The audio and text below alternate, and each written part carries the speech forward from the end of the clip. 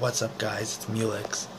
Um, this video is specific for people with the Uniden BC125AT scanner, how to install the uh, driver correctly so you could use the programming soft software.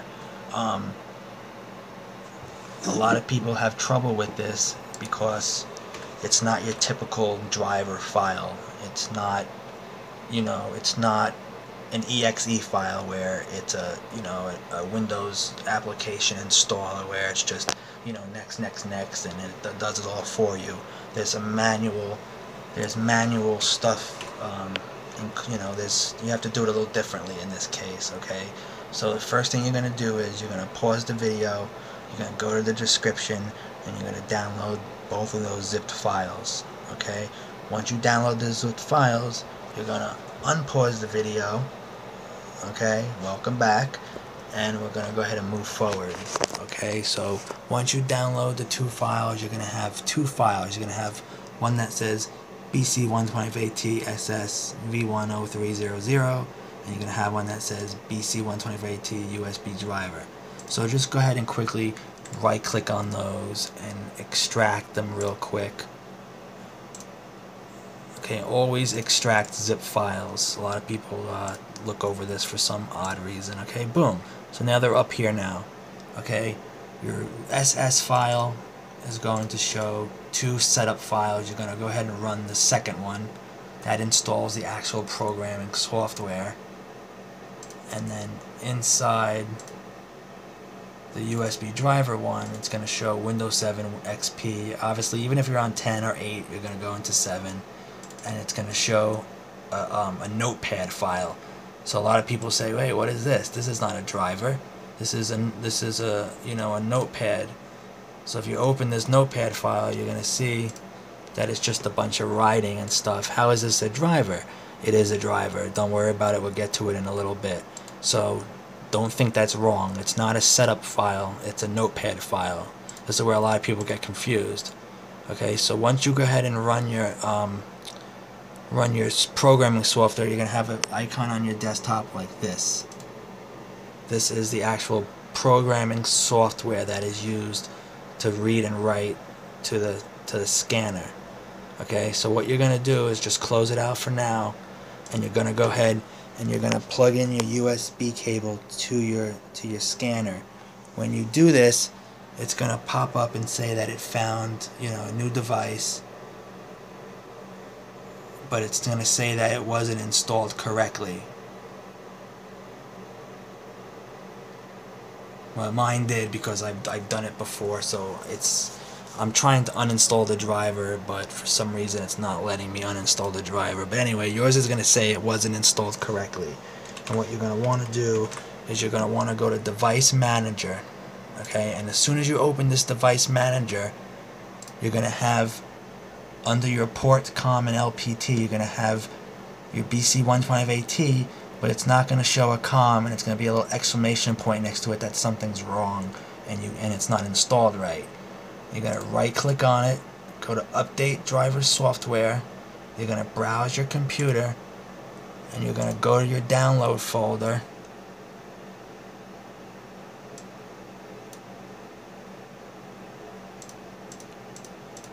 okay? You're gonna go to that USB driver and you're gonna click on the Windows 7 folder. You can't click the actual notepad file. Just click the folder that it's in. So go to the BC15 USB driver open the other folder and just click on the Windows 7 folder. Hit OK. Make sure it includes subfolders. The little box right here click that box and you're gonna see that it Windows 7 and you're gonna hit next Alright, mine says it's already installed, but yours is going to go ahead and update that driver for you. Once that's done, back in Device Manager, it's going to show that it's there and it's going to say COM3 or COM1, whatever your computer says. It's probably going to say COM3. Okay? Then when you go into your into your folder here, um, under COM port settings, you're going to see that it says COM3. If it doesn't, just come into here and, and select whatever COM that it's in.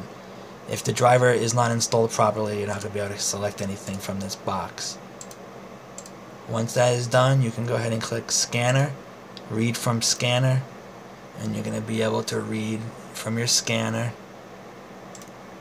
and in my case it shows all the free channels I programmed the other day it's real easy to do from here um, and then when you're done you hit scanner and you go right to scanner. And that's basically how you install the USB drivers. Um, and whatever you select whatever you fill out here save it. This way you don't have to retype it again. If you ever want to edit it out you can just load this file and it will load everything back in. Um, or you could read from the scanner again but I always like to save it. I already have it unsaved but that's how you do it guys. It's real easy. That's the trick when you install it when you plug it in it's gonna say that it wasn't installed correctly. You have to go in and select that notepad driver folder to update to make it pop up correctly here. And that's all that's to it. It's really easy to do. Um, even if you have the BC75 XLT um, just go get that corresponding um, which I have down here already. I have this I got the driver for that one as well. Um, but uh, the driver I was using was for this one because that's the one I have. But it's real easy to do guys. It's real easy to do. Um, I hope this video helps. If you have any questions or you, or, or um, something's confusing to you leave a comment and I'll I'll reply to it and try to help you the best I can. Uh, but it's real straightforward. You plug it in like you do any kind of device that you're installing keyboard mouse whatever it's gonna say that it found new hardware but it's gonna say it didn't install right. Go to device manager right click on it update the driver go get the folder give it the folder with subfolders boom it's done and there's nothing to it. So many people have trouble with this saying I don't I can't install the driver I can't install the driver. Because people think you're actually opening the driver file and clicking next next next and then doing it like a like a video card you know something real quick and easy like any driver normally would be but in this case it's different. You have to do it like that. Um, and that's also a good thing because you have access to a lot of settings in the scanner that you can't get to uh, from the scanner itself or you can I just don't know how. But you can up change the way the backlight works. You can turn off the beeping. You can make the backlight like like like my backlight will come on if I hit this button.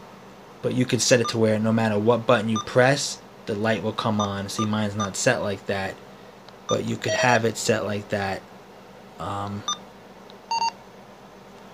but yeah you could have it set like that if you want.